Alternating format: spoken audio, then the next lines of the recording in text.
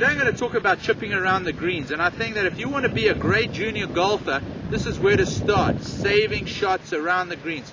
The three greatest players in the world that I think is Ernie Els, Tiger Woods, and Phil Mickelson, and they learned to play their golf starting from the green back to the tee. So let's talk a little bit about chipping. What is the art of chipping the ball? Well, the key is keeping your lower body as stable as possible. When your lower body is stable, your head stays stable through impact. That helps you hit the ball more solidly through impact and helps you get the ball rolling end over end. So let me talk a little bit about the setup, the preparation to the shot.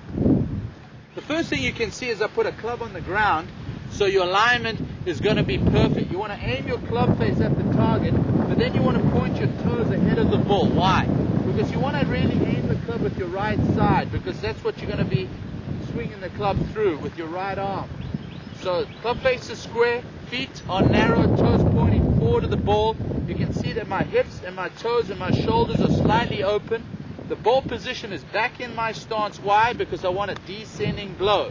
So I want the club to go up in the backswing, down and through. The key to the shot is you want to take it the same distance back and through. You want to get the ball on the green as quick as possible so it can run up to the hole.